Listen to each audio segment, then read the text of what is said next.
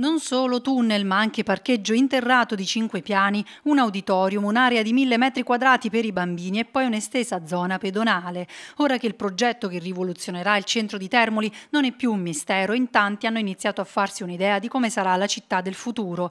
I timori e le paure sorte in questi mesi intorno a quello che Angelo Sbrocca ha preferito chiamare passante e non tunnel, proprio secondo il sindaco, ora possono finalmente rientrare nei loro comprensibili confini, avendo però ben chiaro, come sostenuto dall'amministrazione, amministrazione che non si scaverà nessun buco sotto il borgo e che non ci sarà nessun pericolo per edifici storici o palazzi vicino all'opera.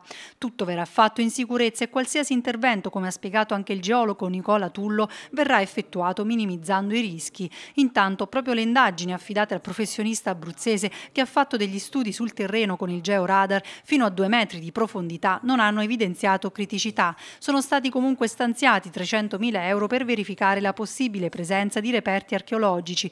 Tutto sarà fatto in collaborazione con la sovrintendenza e potranno essere valutati anche eventuali spostamenti del tracciato del tunnel.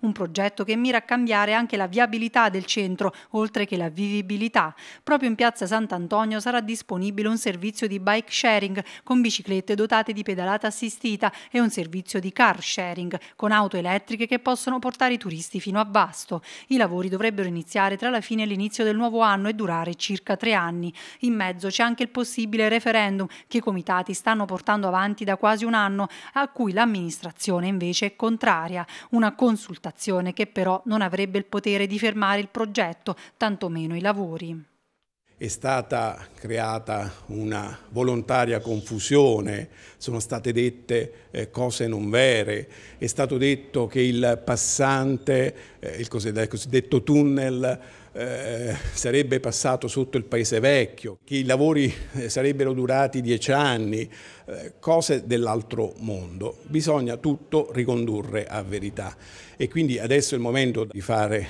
una comunicazione serrata su, e anche dei dibattiti, perché noi vogliamo dire, vogliamo presentare il progetto alla città e siccome i cittadini non sono degli stupidi, sono persone intelligenti e sicuramente apprezzeranno questo progetto perché è un progetto che darà una nuova vitalità alla nostra città. Basta essere conservatori, basta che dire che tutto non va, sempre no, e senza mai proporre delle soluzioni alternative.